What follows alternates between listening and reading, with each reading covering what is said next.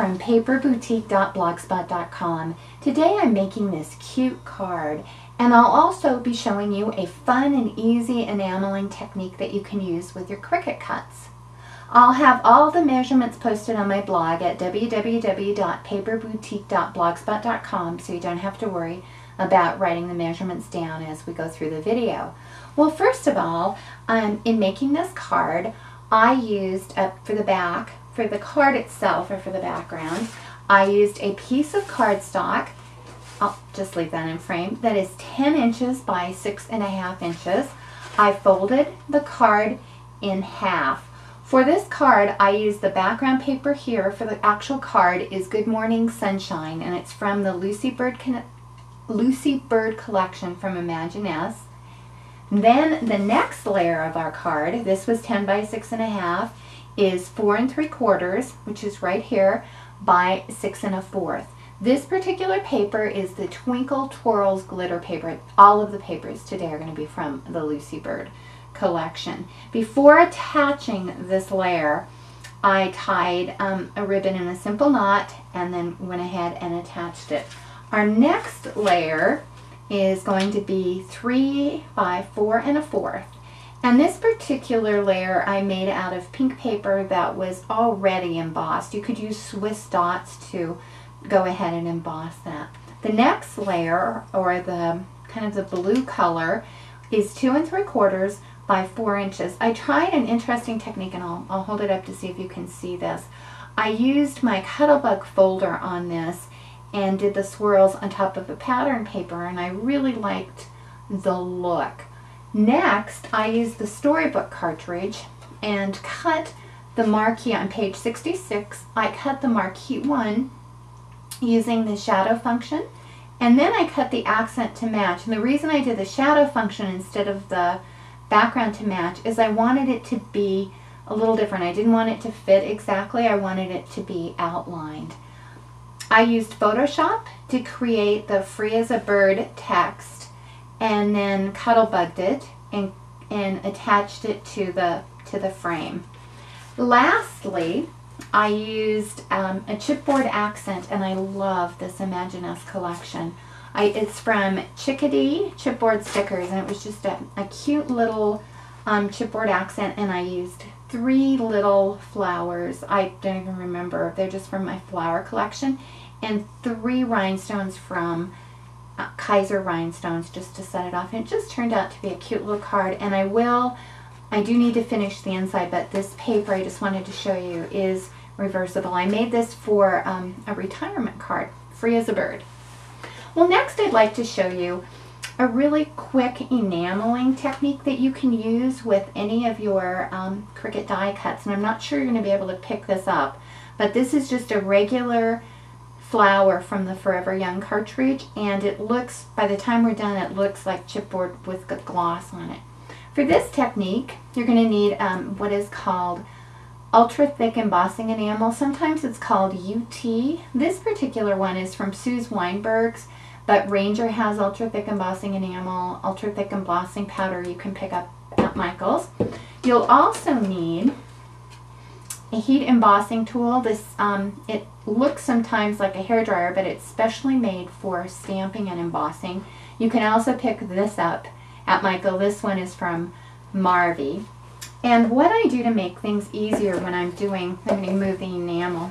I put my ultra thick and all of my embossing powders in these little Ziploc containers and I just keep a plastic spoon in there.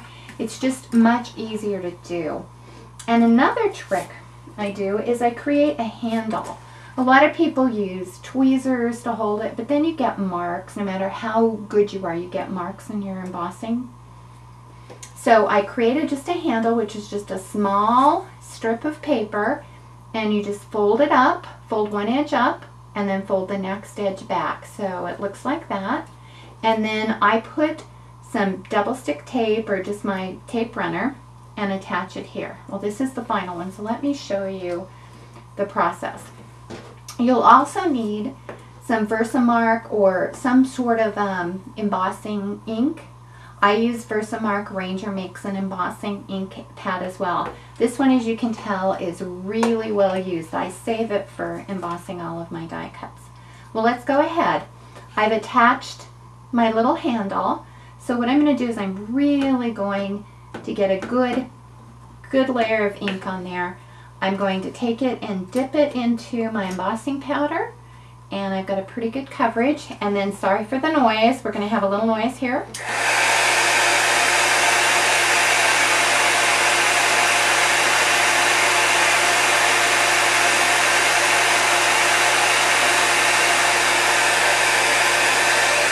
And then what you're going to do is it's going to be really kind of bumpy at this point. You're going to do this process three times.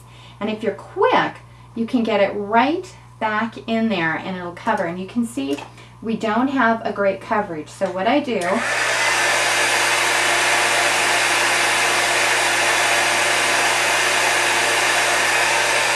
and you can tell it's getting a little bit smoother.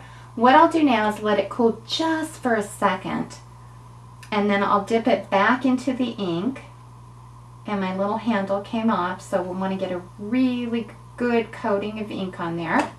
Get the handle back and then I'm really going to dip it in the embossing powder one more time and this should give us a really smooth